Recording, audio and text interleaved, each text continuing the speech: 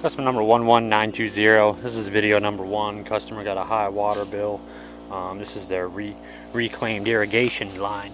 And what I did here is I removed the meter, hooked up my air chuck there so I could run some some air through there, checked all the uh, zone valves, uh, make sure there was nothing obvious at first, and then I had to use my electronic equipment to locate and I located the leak. Haven't dug up the area yet. Just used my electronic equipment to locate it.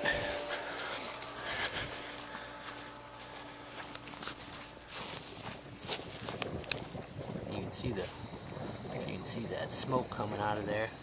It's just compressed air. I got my equipment here pointing right at the area here. And that's video number one. Uh, leak is located.